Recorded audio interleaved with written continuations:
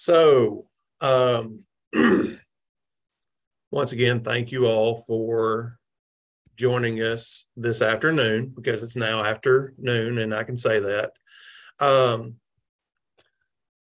just a little bit of a background on this. We've been doing the Derby program for over 30 years and we've had great success. This year we have, and I'm probably wrong, but Tara can correct me. She's here to to run a little IT support for me. Um, but we have over 290 derbies that are going on around the state this year. So this is a very popular program, and we thought it'd be a good idea just to reach out to all the derby sponsors, do a Zoom call like this, and go over a few of the you know policy procedures, things like mm-hmm. that. But but really just help provide y'all with more of what you need. Um, you know, we obviously have limitations with what we can provide, but um, just have a little bit of a dialogue about what you can do to to have the best event possible, other resources available, things like that. So once again, thank you. We've got a few more uh, that are coming in. So I won't get into too much of this until we got everybody out of the waiting room. Why is it not giving me? So bear with me just a few and um, little bit of what we're going to do. Uh, we will do question and answer, but we will do that through the chat feature Um, yeah, on the um, on here. Um, thought I heard somebody's voice. Uh, I'm going to ask that everybody stays on mute. We've got 40 on the call and climbing. So if everybody starts trying to talk at the same time, I guess you don't have to have those uh, reminders as much as we did back in the first days of COVID when we all started trying to figure this out. So um, my name is JJ Gladden. I work for Arkansas Game and Fish Commission, and I am an assistant uh, chief in the education division. So some of the things that are in the umbrella that we have is uh, obviously fishing derbies. That's why I'm here. We also have the Family and Community Fishing Program, which is uh, 49 ponds and growing across the state. They're focused in population centers. Um, and we do different events through those throughout the year. Uh, some of you are quite possibly having your derby at one of those locations. Um, on here running some support is Tara Bennett. She is the admin for um, fishing education, BOW, so many different programs that we have within Game and Fish. And we have Bo Davidson on here as well and he is the fishing in the natural state uh, program coordinator. Uh, and we likely have a few people from those uh, fishing in the natural state schools on here or 4-H or different organizations like that. But to give a, a brief rundown, it's basically a curriculum designed four through 12 that helps us uh, give educators, whether they're traditional or non-traditional educators, uh, additional tools to be able to help teach fishing and conservation uh, education, especially when it applies to the aquatic environment. So it looks like we've got most people out of the waiting room. Um, once again, I do appreciate, looks like I've got an email about somebody can't get in. Stand by just a second.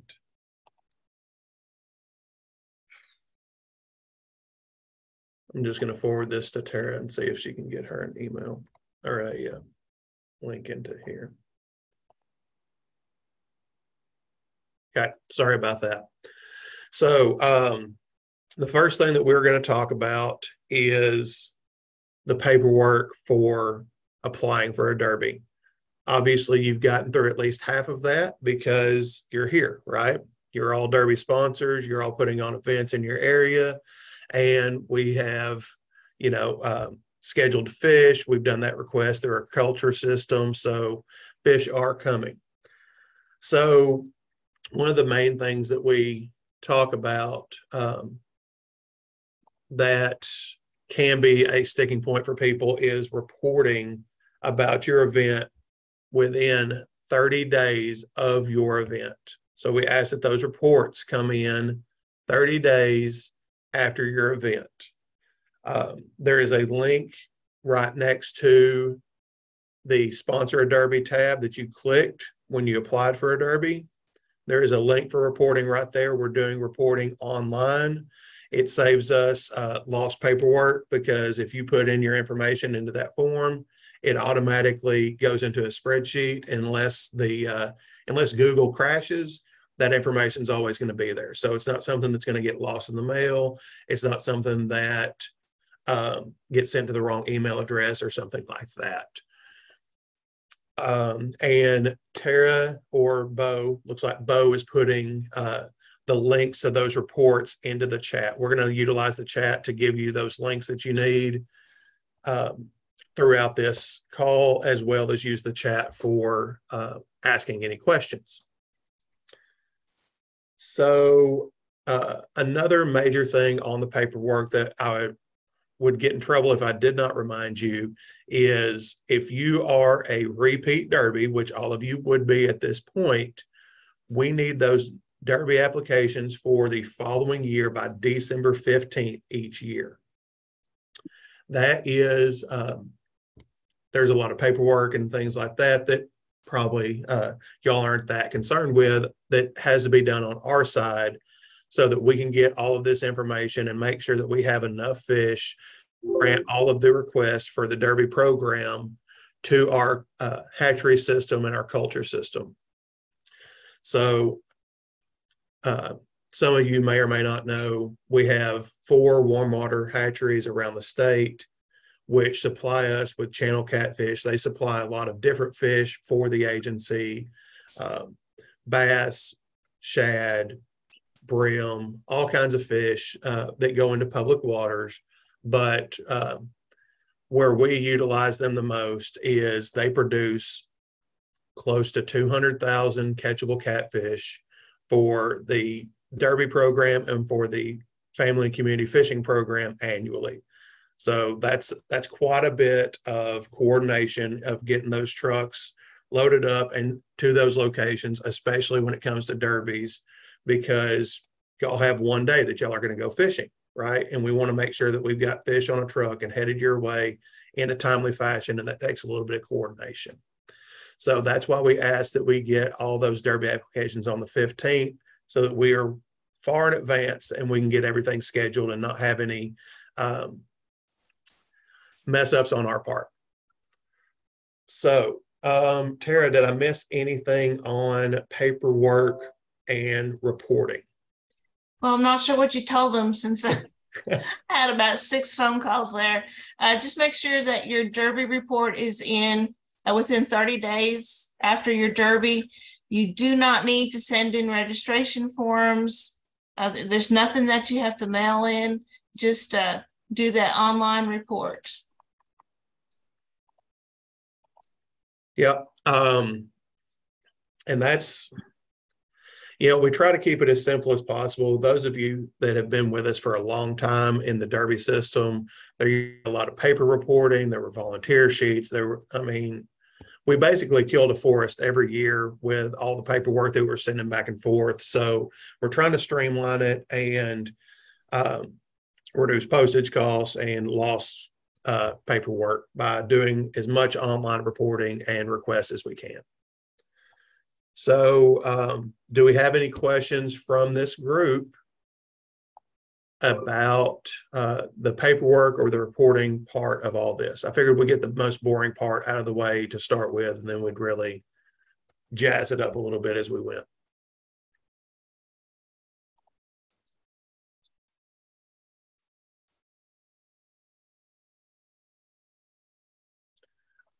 Okay, doesn't look like we have anything in the chat. Um, I do have a, a, question for the group. How many of you, this is your first derby that you've done? You can just uh, type first one in the chat or raise your hand, whatever, whatever y'all want to do. But just kind of curious of what kind of a mix, if this is uh, a brand new derby for y'all, or if y'all been doing this, you know, you're one of our originals that have been doing this for 20 plus years. Okay, I'm seeing several first ones in here. Um. Okay, I do have one question. I don't want to be that person that asks all the questions, but this is my first one, and I know I was supposed to send something to the city. And then they send something back. And then I send it to you all. Is that correct? you're probably talking about Form one A. Yes, sir. Well, I didn't realize she emailed me I needed to pay for it, so I just did that today, and she's supposed to send me Form A back today. And then I send that to you all. Is that correct? Okay, Wh- what are you having to pay for? Something with? The, the pavilion? Oh, okay, okay, okay. I was like, no, we shouldn't be charging you anything there. No, so- just for the pavilion, and she was waiting on that payment before she sent me the paperwork I needed. Okay, I got you. You know, that's just one of those, uh, yes, so to answer your question, once you have a signed form, one A, uh, you can scan and send that to us, uh, whatever. I mean, that's probably the best. I've been preaching about the, the online side of things so that we don't lose anything in the mail. So if you can send that to Tara, um, Okay. scan and send or something like that, that's probably best. And we started doing that several years ago because, you know, when you're talking about these city park ponds, we were running into, you know, somebody might have a uh, want to have a derby at Lake Valencia there in Maumelle, but there was a group that had the pavilion or the pier or something like that booked, and Mhm. those two groups didn't talk. So uh, in those high traffic areas, we definitely wanted to make sure that everything was cleared with the with the city to make sure there wasn't any double booking, and then uh, everybody looks bad on all directions. So did that did that help answer it? That cleared it up. Thank you. Okay, well, thank you very much. Any other, let me make sure. Um, I, I have a question. okay, go ahead. Up here at BHDC, they've been putting these fishing derbies on for many years. And, uh, the guy that used to be in charge of all this, he'd left. So this is mine Tyler's first time doing this. So we're not quite sure on paperwork or any of that stuff. So this is all kind of new when you talk about reporting after thirty days. So we're gonna need help trying to get those links and everything. Okay, um. If you'll put your email in the chat, I'll make sure that Tara sends you an email with all the, um, links. You can send it direct to Tara or me. Either one, and we will make sure that we send you an email that's got all that reporting stuff in it. It's also in the chat, but we'll make sure that we've got some back and spo- back and forth correspondence going on. Sure, yeah, because all the fish and everything's already ordered. Ours is coming up in May, but we're just not quite sure on the reporting afterwards and everything else. So. Now, Mr. Schaefer, I just tried to email you the link to this Zoom, right? You called me. Yes, And um, it kept being returned telling me that my email to you had been blocked.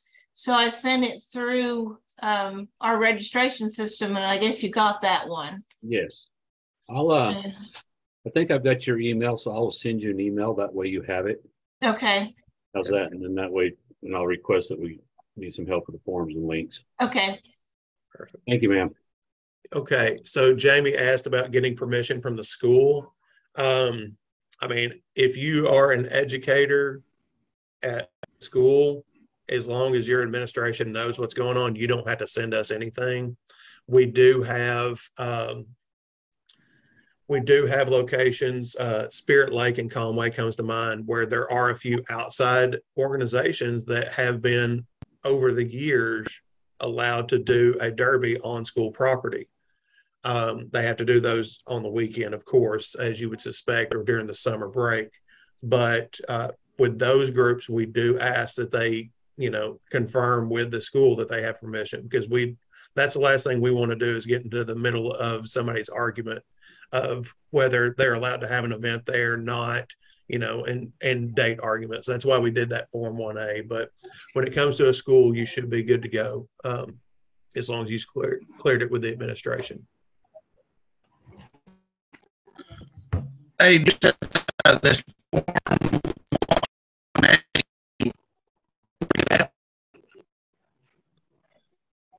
Mr. Cantrell, you're breaking up a little bit. Um, if you put your question in the chat, we'll we'll cover that. Um, I, I couldn't make out any of the words. It just sounded like a uh, you were driving through a tunnel.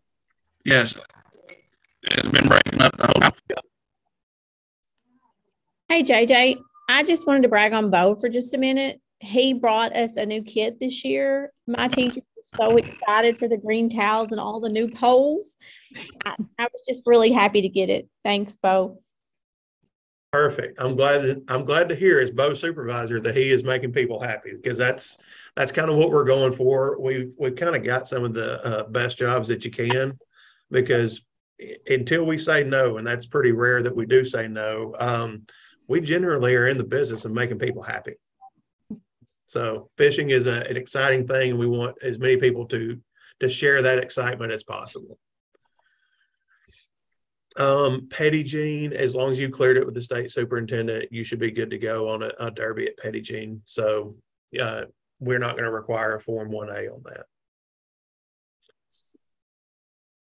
Um, and it looks like Harley Spears wants to know about getting a kit. Uh, are you talking about a derby kit or are you talking about a fins kit?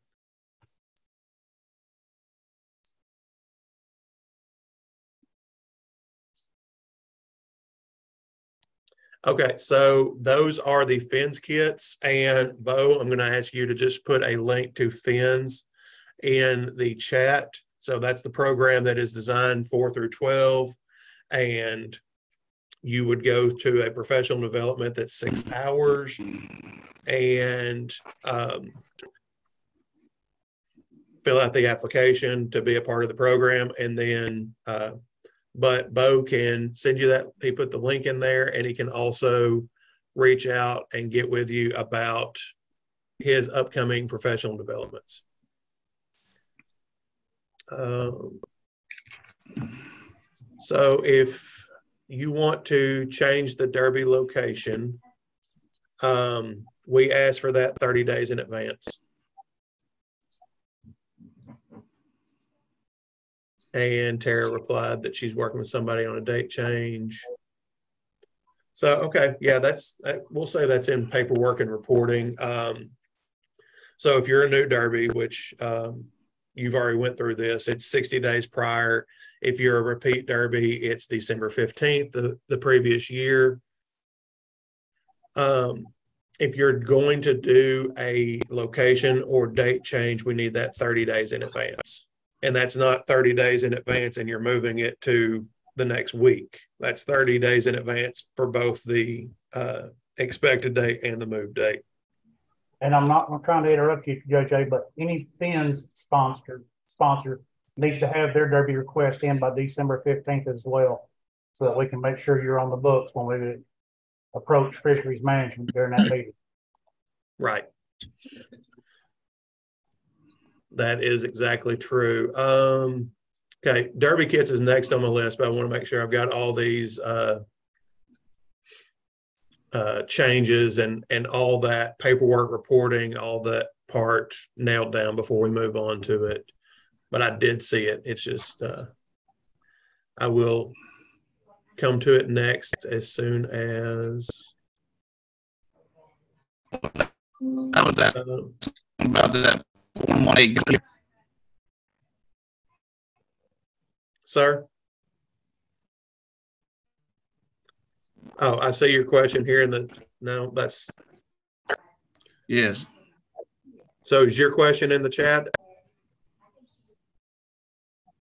yes.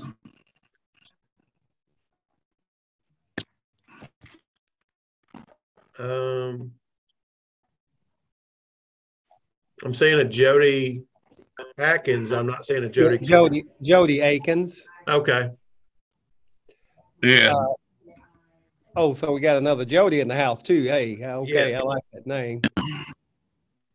Yeah. Uh, My question is, is pretty simple. Uh, first year here, teacher, school resource officer. Been to two fishing derbies here at the school. We go to a stock pond. Uh, I think Game and Fish come stock that pond right before the derby. Uh, my question was, as far as broken rod and reels, the towels and all that other stuff, is that replaced or how do we go about fixing that? um, if you are with a school, um, you will work with, and you're in the fishing in the natural state program, you will work with Bo on broken rods, reels, uh, and equipment. I know that when he does his professional development, and he probably provides a link to a video that we shot back during COVID on simple reel repair, things like that. But if you've got something that's uh, beyond your scope of fixing, just get with Bo and he will work with uh, getting any broken equipment replaced or fixed. Okay, is that Mr. James Davidson? Yes. Okay, I have a contact number for him. Yeah, Some sorry. reason I ended up with that number. Yeah, that I'm surprised that there's not something going around here that calls me Joseph. That uh that back and forth um legal names and what we go by, it's uh it confuses some people and I understand that. It confuses me half the time. And uh, Mr. uh, Williams had a good question. What is a derby kit? Oh, Okay. Well, stand by and I will get to it. Let me make sure that I've got all these questions already.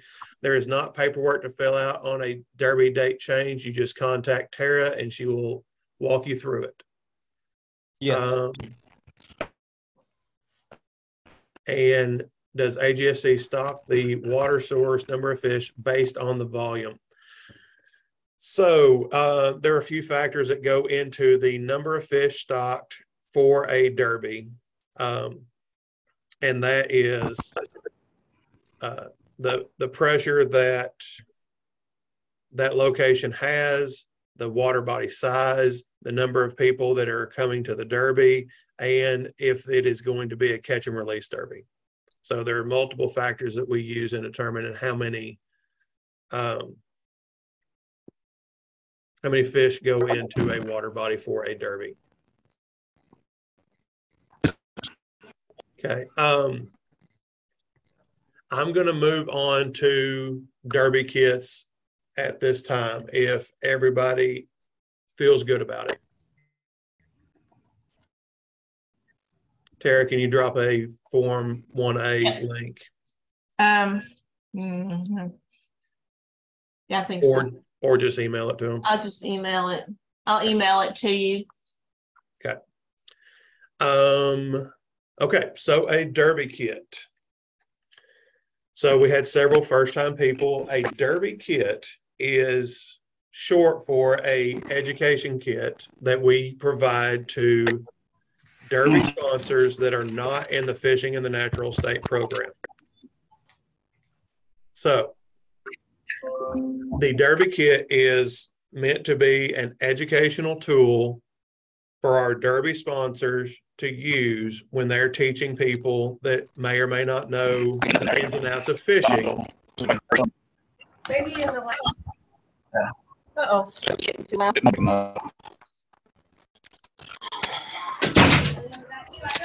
Okay, um, Mr. Cantrell, can you put yourself on mute?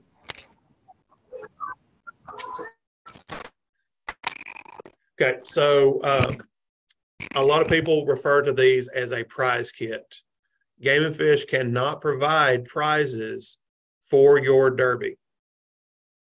That is not something that we are allowed to do.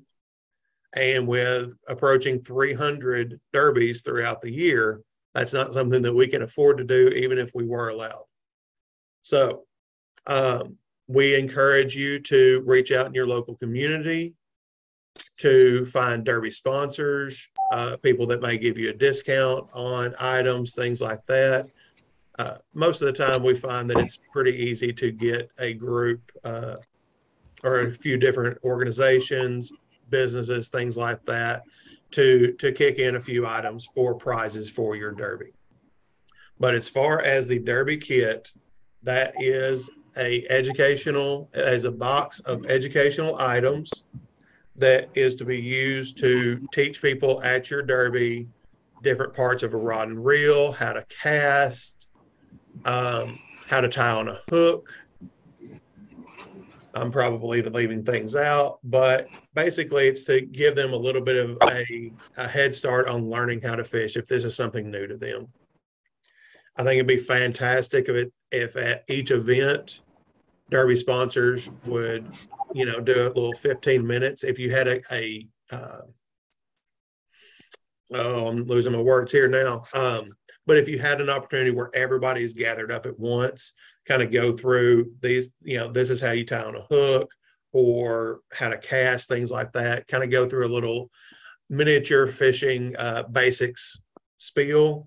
And that's why we put the beginning fishing guide in there so that you have a reference to a few of those different skills and you can point to things where they can uh, see those different, uh, you know, techniques and methods. We also have a few fish identification books in there talking about um, when you're talking about rules and regulations on fishing, especially outside of the derby, because that's that's the goal is, uh, you know, you have this fun fishing experience at a pond or wherever you're um, fishing at. You want people to do that, you want them to have the skills that they need to go and and do it on their own. So, you want people to be able to identify those fish, and to um, know the rules and regulations for where they're going. So talking about those things is is really important to making sure that we don't set somebody up to to get their hand slapped down the road.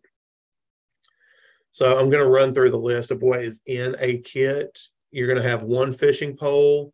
You're going to have some bait. It's going to be uh, prepared bait. People call it stink bait. We actually have magic bait in there. We actually have uh, Catfish Pro, which is an Arkansas product. There will be a small tackle bag. We've got uh, five starter kits, which consist of a bobber, a sinker, and a couple of hooks.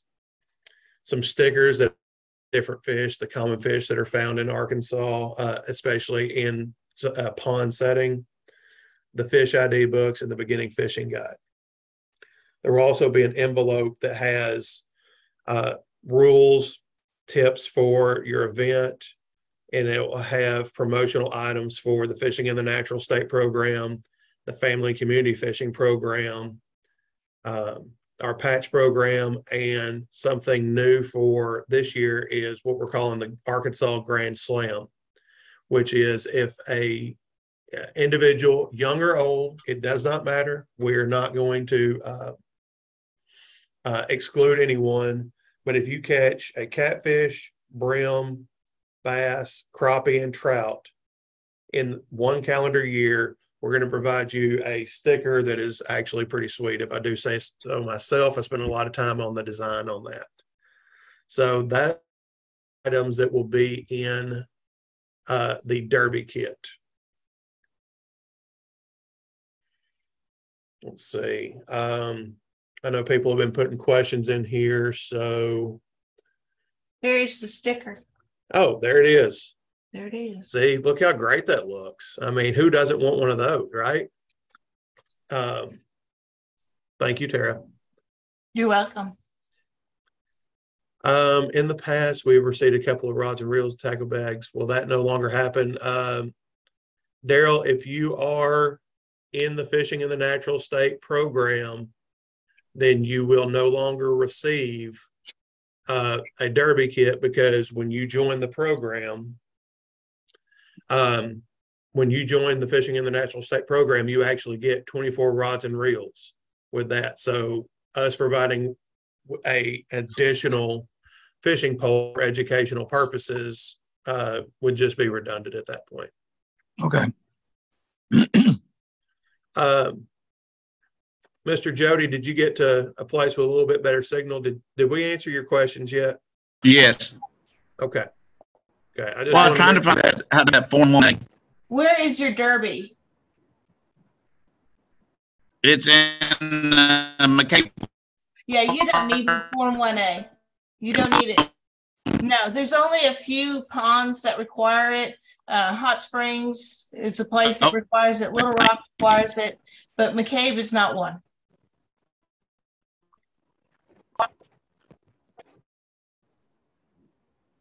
Okay. Um,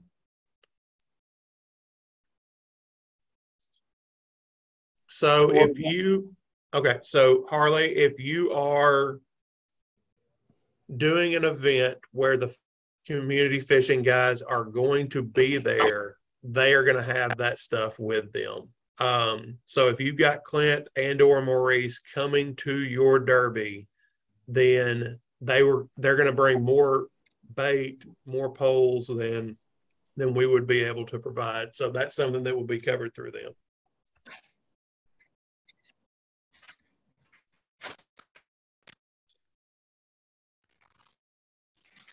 Okay, um.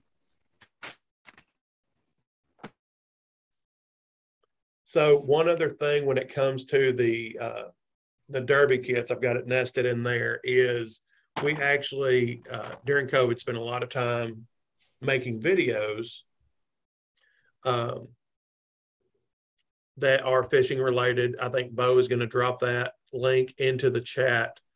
So, especially for those uh, out there, you know, if you've got your group in a classroom setting, you could play a few of those videos, you know, maybe one a day, something like that, where they're seeing the the uh, videos that we made about casting, rigging a, a fishing pole, tying a knot, things like that. So if you do have that uh, environment where you can share a video, you know, there, that's a really good resource. But if not, that beginning fishing guide that will be in that Derby kit, which is also in the uh, fishing in the natural state kits, you know, does a really good job of walking people through that as well. Because I know, uh, you know, just like all the, uh, just like all your students, participants, things like that are not going to be at the same skill level when it comes to fishing. That's also true for Derby sponsors. You know, there's people that have been fishing their whole lives and are considered, uh, you know, an avid angler, but there's also people that are just trying to do something really good for their community and have a community event and fishing seems like a great idea and we want to provide y'all with as many tools as possible to make your event a success because your success is ultimately our success i, I talk to different groups all the time about you know game and fish had or uh, sorry arkansas has 3.3 million people we have nearly 100,000 miles of streams, uh, over 60,000 acres of lakes, and Game and Fish has less than 600 people. If if the future of our waters is reliant on Game and Fish employees, we're struggling. We're in big trouble. So it takes groups just like this coming together and, and sharing that passion for the outdoors, for fishing, for healthy waters to to help us um, have success when it comes to uh, conservation efforts. Um, Tia, Bo, drop that link in there. It's right above your comment. Hopefully you've got that. Um, you do not have to give the Derby kit back after your Derby. Um, so I should really stop the recording on this, but we are after your derby kit has been used for education um, you can use it for events down the road but at that point it served its purpose and its uh, life expectancy because it would be pointless for y'all to try to get that back to us at that point whatever is done with that equipment um, we hope and ask that it is used for for good. I, I don't want to see it in a trash can, is I guess what I'm saying. So whatever that Derby sponsor deems necessary with that educational equipment that we provide after the event is up to the Derby sponsor. Um, Daryl, we are not, uh, one, we do not have catchable bass in our hatchery system. Uh, as far as the hatchery system, we have for the most part, around two inch fish is what goes out. When it comes to catfish, they try to get them to six to eight inches um, before they stock them. But the catchable size fish that are produced through the hatchery system is what we have um, available for the Derby program. Okay. So it's those it's those 14, 13 to 14 inch fish is what we try to go for because it's the the only one that's truly hmm. cost effective to get them to that level. And um, I'm going to say give them away, but obviously they're going to a greater good. But trying to trying to get a bass to to a size that is quote unquote catchable is a far more monumental task. Okay, I understand. Yeah, that's a good question though. Um, you know, a lot of people ask about that, and people ask about brim stockings as well. And um, we do not specifically raise uh, brim species, especially bluegill, for our catchable um, stocking. But we do sometimes have those fish mixed in with the catfish, and you may get a bonus, you know, 10 or so bigger bluegill. So, Okay. but as far as bass goes, uh, yeah, we we use those for brood stock and taking care of the rivers and lakes. Gotcha. Thank you. Yes, sir. Uh,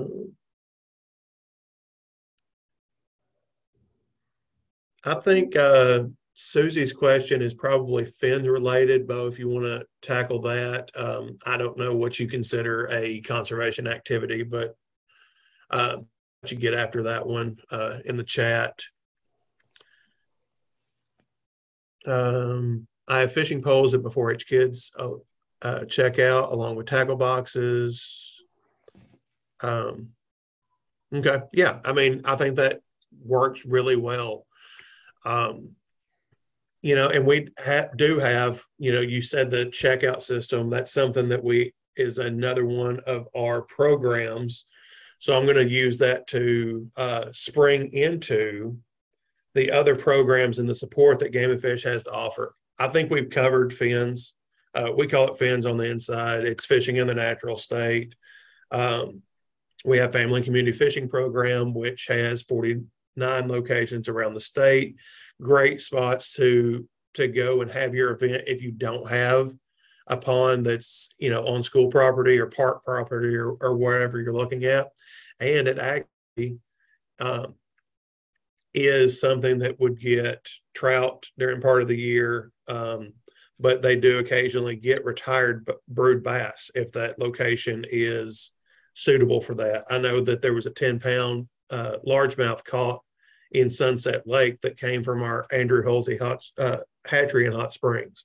So those family and community fishing locations are are really good to go after the derby or even to host your derby at if you're looking for a good spot. I talked about the Grand Slam. We also have the patch program, and participation in a fishing derby is something that qualifies you for that patch. There will be a brochure in your derby kit talking more about that, or you can go online and check it out. It's really neat. It's it's across eight different activities: uh, hiking, shooting, paddling, uh, so many different things. Just trying to to help people in their walk course. Um, there's there's also uh, you know a lot of people know us for shooting sports, archery in the schools. Uh, so there's there's so many outdoor uh, programs that that we do through Game and Fish. I just encourage you to go to our webpage. Uh, maybe Bo or Terry will drop a link just to the education page on our website, which will show you all the different programs that we have. But I you, I ran through all those others to talk about the tackle loaner program, which actually has rod and reels across the state um, that people can just check out. So if you've got a group that that may or may not have a fishing pole, you can go on the webpage, find tackle loaner, and you can check out a couple of rods and reels from them. So that's another resource to help um, alleviate some of that pressure. I mean, yeah, rod and reels aren't as expensive as a gun, but you know, money is a uh, a barrier to some people. Uh, you know, so that is a resource that we make available. You know, we probably got a thousand rod and reels in circulation around the state. So let's see. Let's catch back up with our questions. Um, Okay, Tara answered the question about a fishing license. Yes. You are required by state law. And when I say state law, like our legislature has definitely commented on this and weighed in. Um, if you are 16 or over, you are required to have a valid fishing license to fish in Arkansas. Um, there's probably rumors circulating around about waivers. We've tried to squash those over the years. We are not by law allowed to provide a fishing waiver for someone who is of the age to be a license holder. Um, so while that likely is not the answer that many people want. That is the one that we are required to give. Um, if you are only helping, you are not actively fishing, especially by yourself, you can help a child fish without holding a license. The Pee game will, the Wee Um, game will leave at three thirty today for the game. The Pee Wee players will Um, today for the game. And And thank you. somebody came off mute there. Um, I think we're getting a school announcement. Um, let's see. Now, I do encourage anybody that's taking someone out fishing to go ahead and buy a license. It is fifty, great investment, and it uh, actually doubles the amount of money that we get for conservation here in the state. So, ten fifty is a small price to pay for pristine and beautiful Arkansas streams and, and waters and the fish that go into them. Um, yes, there will be a recording of this. Um, free fishing weekend, June 20, uh, June 9th through 11th, which will also have the hatchery derbies. There will be four hatchery derbies on free fishing weekend, which will be on June 10th from 8 to 12. Those locations are Hot Springs, Centerton, Corning, and Lonoke. Um, I I would assume that uh, we'll send out an email about that to our Derby sponsors. It'll be all over Facebook, radio, billboards, all the the things like that. Um. Okay, uh, Amy, did that answer your question about your volunteers? Um, if they're fishing by themselves, um, they would have to have a license. But if they are genuinely just assisting with casting, and if somebody gets one on the end of the line, they're they're helping make sure that they get them in and don't lose them or lose their pole to the water.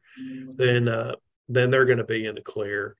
Okay. Uh, And I did encourage them last year. There just were some, you know, that were holding out and I didn't want us to get in trouble. yeah, yeah. once again, I, I mean, I think it is a great investment I think it's really good for conservation in our state. Um, but our enforcement officers are really good and that's who would be writing a ticket if there was an issue.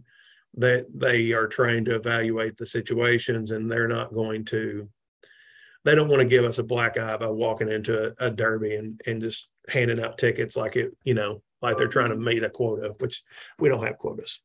Um, but you know we're we're going to do our best to work with everybody. That's that's what we want to do. We we want as many partners in conservation as we can get and fishing is that avenue for so many people.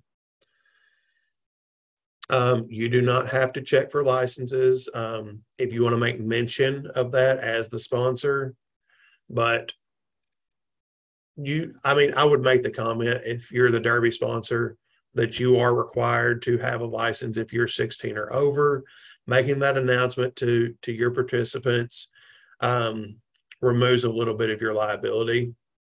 Now you're not going to get some aiding and abetting ticket from Game and Fish. I don't even know that that exists, but uh, just just a little CYA situation of you know making sure that everybody knows this is the expectation to fish.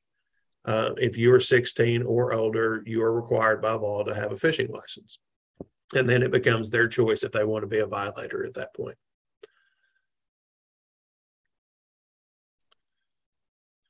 Hey Gary, uh, there, there's a prime example of somebody that's worked with um, with Clint Maurice and, and built obviously from the chat a a very large derby with with a great example of bringing in partner organizations and and really making this a true community event. Um, Gary Casey is the the gentleman that was part of the brainchild. It may have been the entire brainchild of the big catch that's hosted here in Little Rock, which actually has two different events, one in the spring and one in the fall, uh, utilizing different partners. So, um, Gary, um, for your derby, um, especially at Valencia, we're we're putting uh, a significant amount of fish in there because we definitely do not want um, when you got fifteen hundred people that want to go out and go fishing, you don't want them to to leave with a sour taste in their mouth. Um, not sure the question on intellectual disabilities. Um, oh, sorry. I see it above now. Sorry, I skipped over that. Um, so are you talking about a derby specifically for that? Oh, okay, for a license. Um, I do not, there, there is a disabled license on our website that you have to go through an application process for, and I am not uh, completely versed in all the ins and outs of that. It actually is done through our license system. So you fill out an application and they're able to make that determination. That's not something that I do at my level. Um, additional print materials um, would be you can send that request to Tara, who would then send it to the right direction. I think we're in the midst of a new system on how to request those materials. Um, but we do provide a ton of our literature online as well. So uh, it's a back and forth at that point. At that point, but uh, if you have any requests like that, we'll at least take them and see what we can do with it. Okay. Um, lifetime. There we go.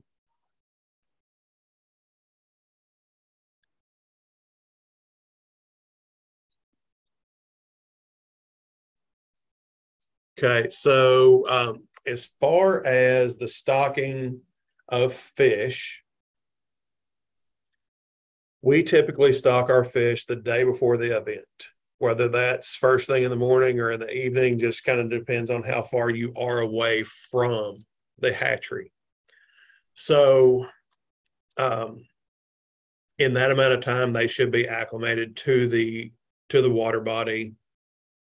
That's the thing about fishing. Um, you know, it kind of makes me think about some of the, uh, like at the big catch this year, we had a, a pool in the middle of one of the halls that was brought in by an outside group where they were fishing for trout. I mean, you can literally see all the trout there, but you know, your, your catch rate was like 10 fish an hour. And I know that there's 500 trout in there.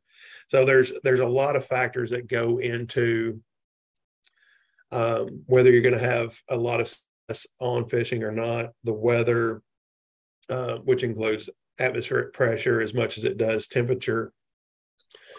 So if you're having um, repetitive issues with catch rates, um, you know, you might want to look at different baits and things like that and just and kind of work through it that way. It's just like the same reason that professional bass anglers, I mean, these are professionals, right?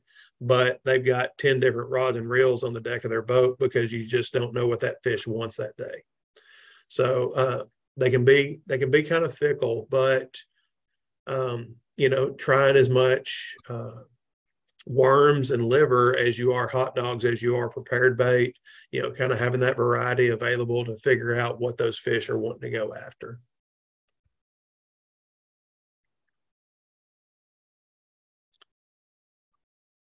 um, are are the uh, license for fishing same price for so yeah our license for fishing is 1050 and it's for anybody 16 or over after you hit 65 you're then qualified for a lifetime license uh, for a 65 plus lifetime license and you're after you buy it once you're you're done after that um a citizen who owns a fish transport business asking about stocking additional fish for our event. Uh, okay, Harley, uh, you're at Beebe, correct? Yeah. Yes.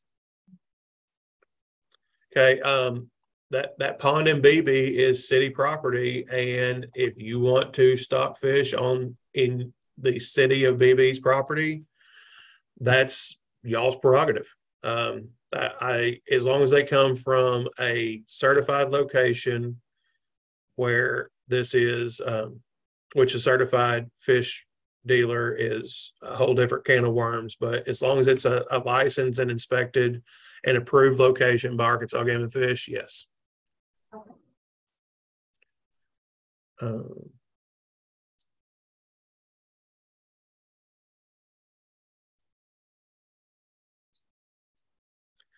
Um, charity, uh, the disability independent living in Harrison, um, as far as if they have to have a license, if they're over sixteen, they are required by law to have a license. And that's once again, the thing that I am required to tell you. Um, because that is the law. Now, whether a ticket is written or not, that's not my choice. But by law, that's that's where we're at on that.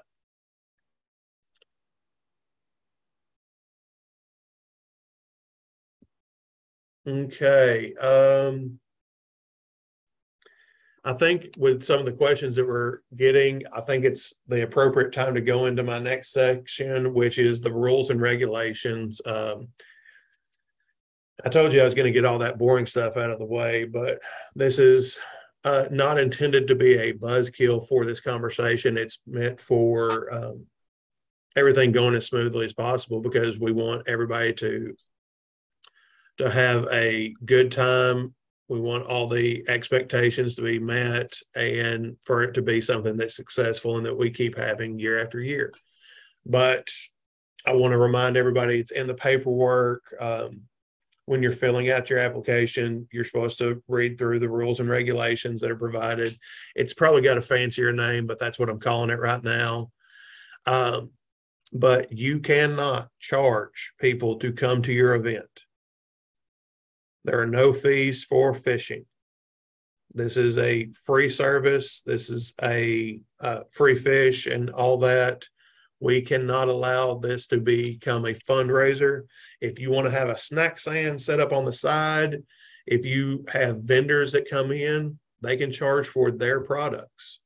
But as far as to fish at the Derby, we cannot allow anybody to charge a fee or use that as the fundraiser like I said, things on the uh, the outside of that can be a fundraiser. You know, if a civic organization wants to sell snow cones, get after it, but cannot charge for the fishing.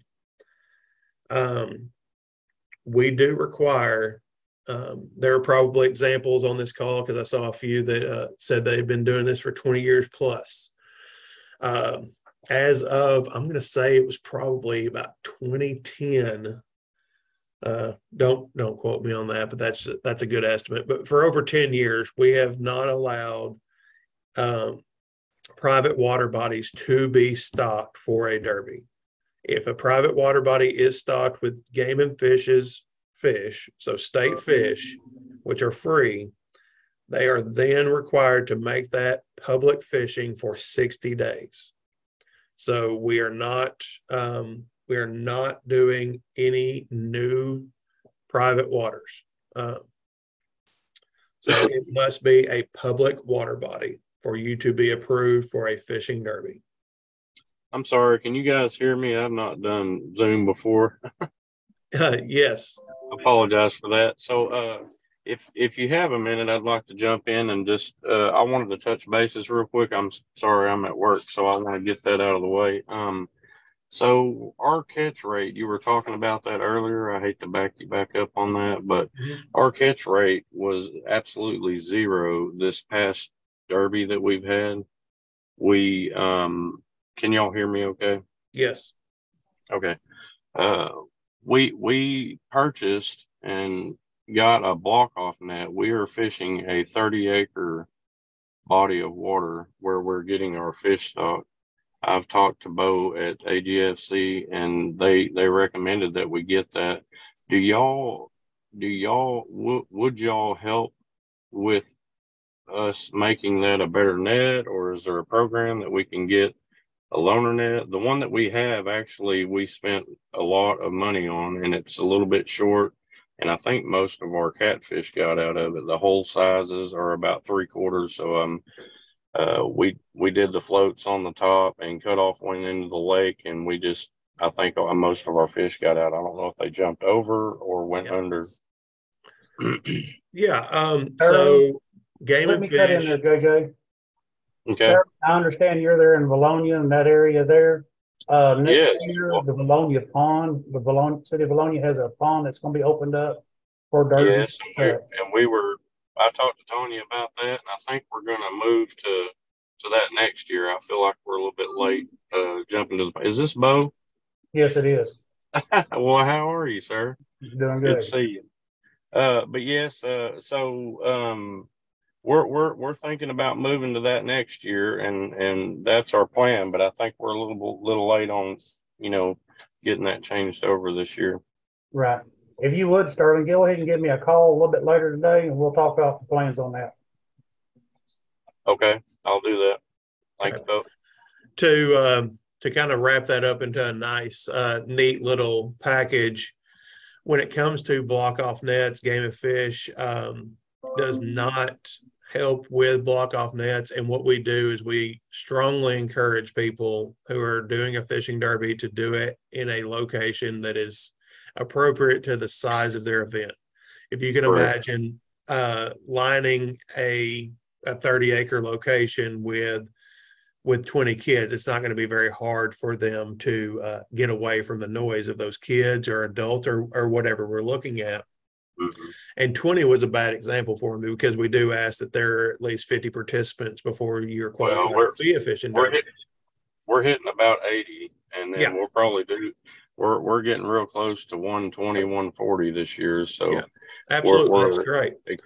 Yeah, Yeah. we're expanding our area and trying to, but we are trying to get those fish localized. We're, we're trying to get people to catch more fish. Mhm. Um, so to add to that, my other question was, would, would it be smarter to leave the block off net off and just give them more bank area to fish?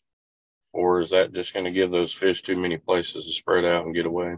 Um, yeah, so I'll tell you, I'll tell you a short story so we can uh, get back on this. But so years ago, we used to do an event called uh, the Outdoor Expo, and they they spent a lot of time putting in block off nets and things like that because we were in a 50 acre water body, and I I was the person that put the fish in the nets, and I know that there are three to 500 fish that were put in these nets. And Mhm. even though they were only 10 feet off the bank, the catch rate was terrible. So um, it really becomes those situations where if those fish are in a block off net, they're going to do everything they can to get out and away.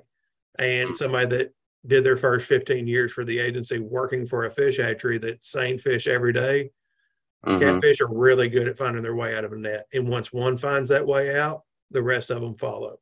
So then you've follow. got your your group that's fishing in a place where all the fish are working to get out instead of Mhm. trying to eat.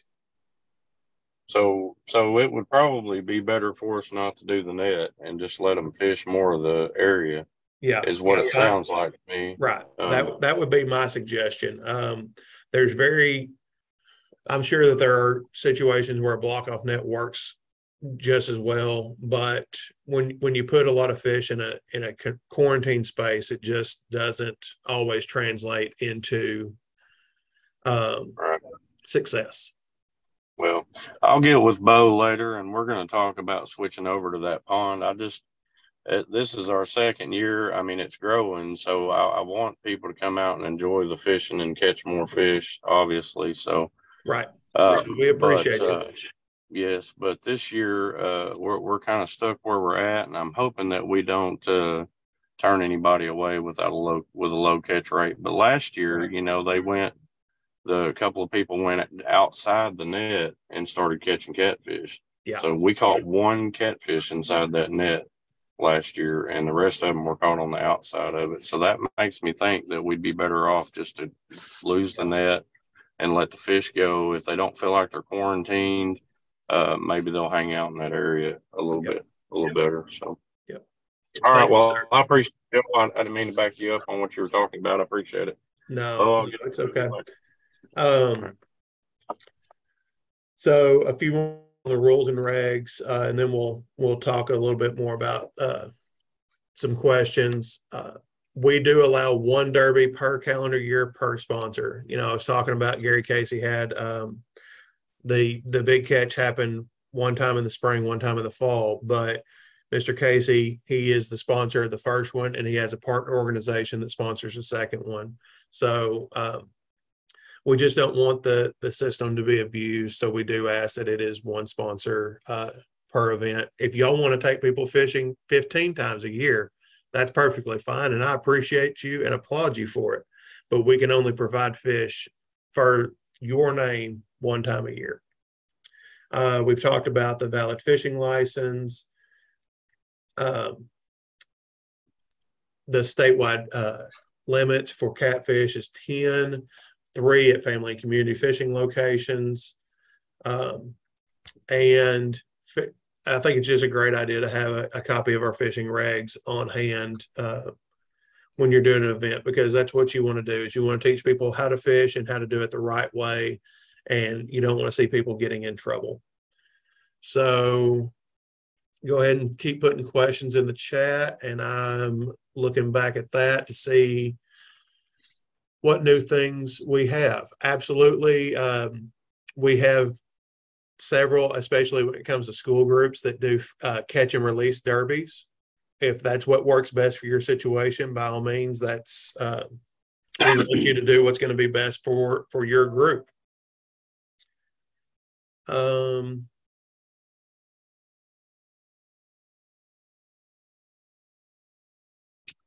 uh, so it, a lot of questions um, about the private bodies of water.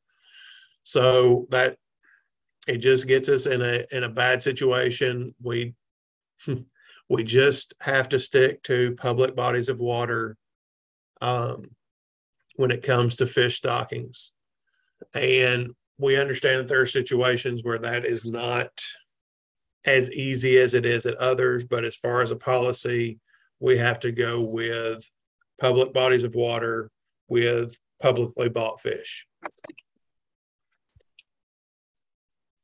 or paid for. They're not bought. You, you see what I'm saying? You know, the the fish, just like uh, everything else, is public domain. So putting it into a private situation um, can can be a little bit uh, of a uh, bad look for us. Any other questions on basically anything that we've talked about? Just go ahead and put it into the chat for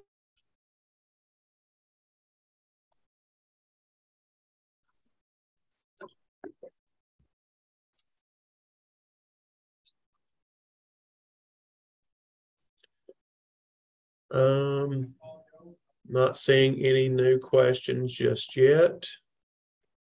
I have a question if it's all right. Okay, go ahead, Um, Sterling. Me, and- me and Tanya are thinking about doing a, um, like an ongoing kids club type thing where we can, uh, get a group of kids that would like to, or parents both, and get them out together and just do like an ongoing conservation, things on conservation, different classes on fish and different things like that. Is there, is there any kind of programs for that, or is that just something new that we're Um, I would say when you have your conversation with Bo later, that that's something that y'all talk about.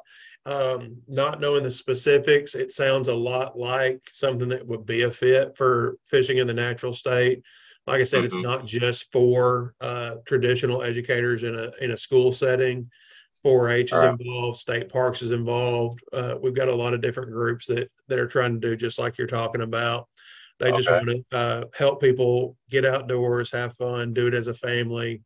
Um, but I think that'd be a good place to kick off that conversation and and talk it out with Bo. And if if he thinks it's not a fit for for the fishing in the natural state program, then I bet he he's got an idea of which direction to go. Right. Yeah. Yeah. I, th- I think our I think our main thing is just that you know there's a lot of a lot of parents that don't really know how to fish or don't know, and we want to get them started on the basics because you know their kids want to fish. They might want to get out and do some fishing, but the parents really don't know how to do that. Yeah. And we'd like to get them together and and walk them through that and kind of help them be able to do it on their own at some point, you know, and be able to take their kids out, know what kind of basics they need, get started. So Yep, absolutely. I think it sounds great. Um, best time of year to put on a fishing derby. So my answer to this, and um, I think that everybody, uh, well, most of our derby sponsors have caught on to this trend because we probably complete two thirds of our fishing derbies um, in April, May, and June. Is uh, springtime before it gets too hot is typically best. We don't, while there can be success in a July or August derby, um, it just seems like by the by the amount of requests that we have that spring works uh, best for success on derbies. Like I said, I've I've done fantastic fishing and all for, but um, you know, one thing that you got to think about when you're when you're having a derby is you absolutely want people to have the best time, and a lot of the time that that translates to catching fish. But I think if if you would envision a a, a novice angler going fishing for uh you know first or second time and it's a nice 75 degree day but they're not catching a lot of fish they'll probably stick with it a lot longer than if it's a 95 degree 8 a.m morning in august and they're they have you know they catch a fish at the same rate as they did when it was 75 but they're not as comfortable themselves. So I think that you've got to think about the the angler's comfort just as much as you do the fish behavior because fish eat year round. They have to. That's you know that's how they survive. But uh, catch rates slow different times of the year, things like that. But you know your participants' comfort is something that you should also consider on that. Um, can water bodies be closed after the fish are stocked since it is generally the day before? We definitely have sponsors that are uh, capable of doing this. This is not something that Game and Fish can or uh, has the capacity to regulate, but I do know. Um, let's take West Memphis City Parks for example. They're really good. Uh, they got a bunch of signs. They've got an officer or park employee that can go out there. It, they actually put the signs up before we even get the fish in there, but they because they own the property, they have control over what activities are done at that park. So they can absolutely close fishing at that location until the event. So if you have that capability, if you have that ownership, um, then that's definitely something that you can use as a tool to keep um, to keep as many fish in the pond as possible until you have your event. Um,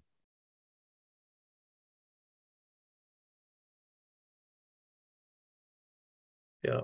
Um, okay. Can students use their own bait or tackle along with their own rods and reels? So I think the reason that we uh, use the terms that we do on this is y'all are a derby sponsor and we provide support for you. This is your derby. So it's whatever rules, as long as they do not violate our rules that you want. So if you've got students that have their their own gear, that's one less fishing pole that you've got to come up with for that. So if your uh, school organization allows them to bring in their own stuff, absolutely, that's less pressure on you. Uh,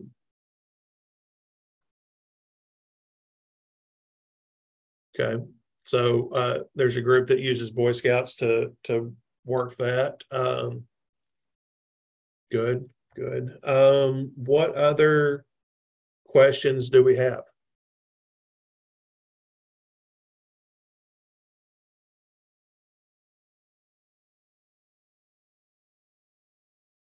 Okay, we'll give us a few minutes to type things into the chat. Um, so the last thing I had on my agenda was just talking about helpful tips for a successful event. And that's kind of um, where I was leaning earlier when I was talking about the best time of year to have a fishing derby and thinking about um, your participants and the people that are coming out there uh, thinking about your volunteers. I mean, it's the same thing. You want your participants to have fun. You also want your volunteers not to uh, uh, have a bad experience because it's 2000 degrees out there, right? You want them to come back and help you with your next event. That's that's how we keep this thing going. So, you know, making sure that uh, at least for your volunteers, if you want to provide it for your participants, if you've got partner organizations out there that can help, you know, providing light snacks, water, or telling the people that are coming, you know, when you do your advertisement for recruitment for your event, you know, bring your snacks, bring bring things to keep everybody happy, cool, calm, sunscreen, chairs, you know. Uh, I'm not I don't think there's many groups out there that are going to provide chairs for everybody that comes to their event to sit in. So these are things, if you set those expectations when you're starting your event, when you're advertising, if you do a registration, if you let them know this is what we've got, this is what y'all need to bring to have the most enjoyable experience, I think that goes a really, really long way. Um, as far as baits go, um, you know, we're going to give you a few bags of prepared baits, but re- like, you know, uh, you know, with catfishing, it's a little bit different, but there's $10 lures out there when it comes to bass fishing, right? Uh, that's not something that's cost effective for something like this. But hot dogs and cheese and liver and, you know, all those grocery baits, as we like to call them, are fantastic and and catfish are just as likely to go after those as they are something else. You know, one of the things that I love, and if you've got, you know, like you've got different groups that they're not going to want to, you know, people in the group, I should say, they don't want to touch them because it's slimy, it's wiggly, whatever. But if you're in, especially some of these family and community fishing locations, it's not just catfish in that pond. You know, I, I nearly guarantee you that you're going to have a brim species in any location that you're fishing. Not guarantee, but I nearly guarantee it. So using a worm, which a catfish is just as likely to hit as a brim or a bass, is it's expanding your range. Whereas if you got uh, some smelly, who knows, liver or I hear people are using bacon. Um, but if you are targeting just catfish, then you're limiting the amount of catch rates you're going to have because yes, we're providing y'all with catfish, and that's what most people are going to catch. But there's more species in there, and in the end, most of your participants don't care what fish is on the other end of that line. They just want to catch a fish. So using something like worms, something that multiple species of fish like to go after, is really helpful. You might can catch a brim off of a uh, a piece of hot dog, but it's going to have to be a lot smaller than that piece of hot dog you're using to catch a catfish. So using different baits, um, sunscreen, shade, chairs. Um, there's probably others out there. I know there's others, but just thinking about the comfort of your participants. Um, and like I said, setting those expectations for them. You know, this is what we're going to have at the event, and this is what you should bring. You know, I think that goes a really long way. Okay. Tara has already taken care of that. As far as a limit of poles a person can use at one time, typically there is not a limit on that, but the uh, the catch-all phrase that you'll hear me use most of the time when I'm doing this is always consult your rules and regulations. Check that fishing guidebook and make sure that um, you're not using a water body that has a special regulation. Okay. So if it's your, uh, you know, a school pond or something like that, you're likely in charge of those regulations. But if you're, um, you know, there's some locations, even some of our family community fishing locations, uh, they may not have a pole limit, but there are certain locations that are 16 and under and 65 plus. So that's not some place where you would want to have a family derby. Because while we want family derbies to be uh, what we're striving for, uh, there's just certain restrictions on a few water bodies out there. So getting getting a copy of that reg book, uh, whether paper, paper or online, I think just helps you um, in the end. Make sure that you're following in the uh, the rules and regulations for the state as along with the water bodies. Yeah, uh, yeah, definitely. You know, if you're using a water body that doesn't have facilities, you're you're going to want to make the investment for porta potties, or you're going to have a lot of people leave real fast. Because if you bring a, a, a group, you know, a group of five or six out there to go fishing, odds are somebody's going to have to go to the bathroom faster than somebody else. So the whole group may have to leave if you don't have uh, porta potties or bathrooms on site. Any other questions out there? Or, you know, I, I'm more than willing for for hot tips to be entered into the chat as well, because this is a group effort. You know, we you know we want people to share their successes and and make sure that we're all you know working in the same direction for for a great experience.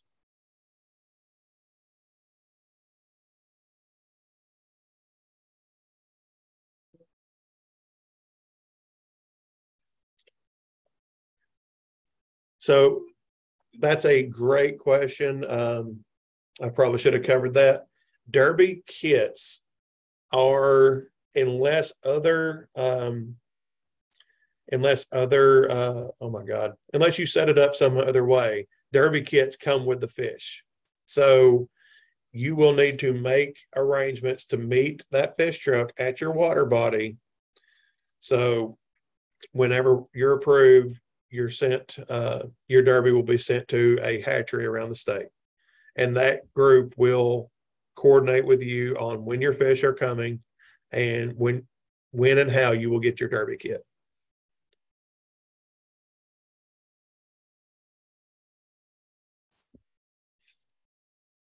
While we're waiting on any other comments or questions, uh, I want to thank all of y'all again. Uh, this group is is what makes fishing so much fun and it makes it accessible to so many more people than if our staff of five was trying to do derbies around the state in person. Um, it would be near impossible and we would not have the the volume um, that we do.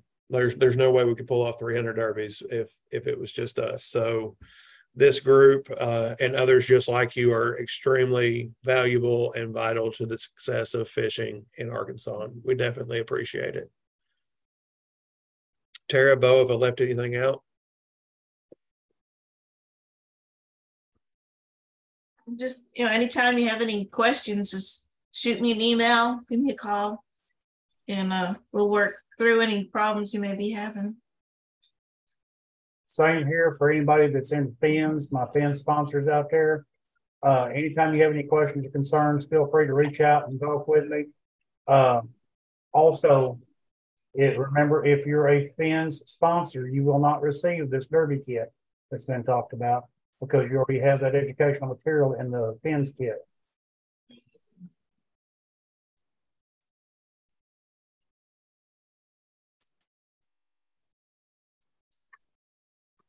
Let's see, uh, not seeing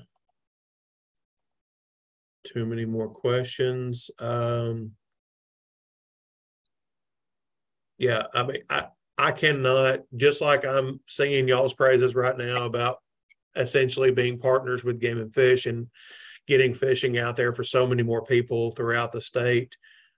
Uh, y'all are our partners in this. And y'all reaching out to partner organizations in your community, um, you know, whether it be for prizes, food, water, whatever that is, there there's so many people that are willing to to give back to their community and utilizing those will just make your event so much more successful.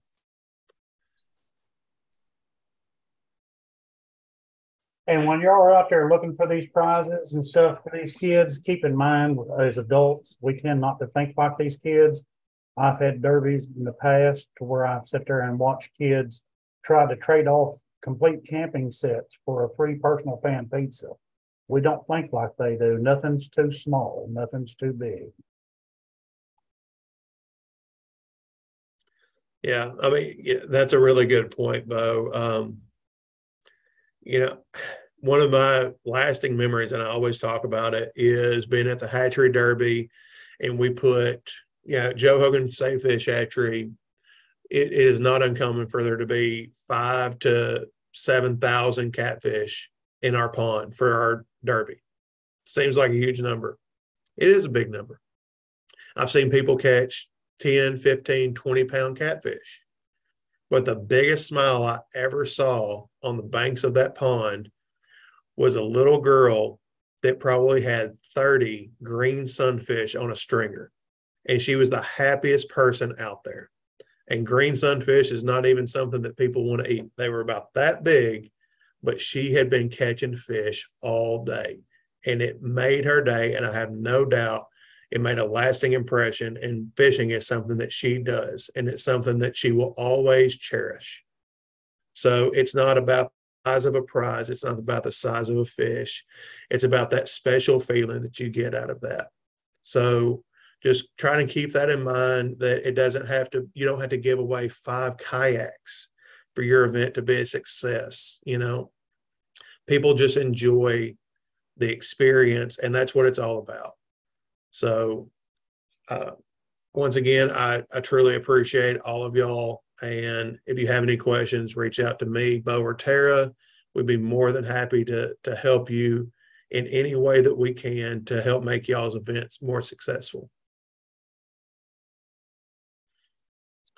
I don't think we have any more uh, questions Well, here. There was uh, something about rain. Um, I, there's not much we can do as far as rain because you're not going to have that 30 days out. That turns into a, um, if your event's scheduled for a Saturday, those fish are coming on Thursday or Friday. And if you want to move your event, that's fine, but the fish are going to be there. You can cancel, but as far as moving, uh, that's a different, um, that, yep, that's in the, the list there. That's just something that scheduling is just not, not going to allow for. Well, guys, I've got to get out for here. I appreciate uh, everything y'all do. Uh, Bo is a huge, huge, great uh, person. Uh, he's a lot of help to us and did a lot for us to get, to get our uh, our derby on the road. I will be keeping in touch with him, and I appreciate everything that y'all do. Thank you. Thank y'all all. And like I was saying, you know, if if you do have a rain issue, we can get the fish there. You know, you may just have to adjust when when you're going to schedule it on the ground. So we appreciate it, and we will do all that we can to help y'all. So thank you very much. Good luck with your derbies. Bye, guys.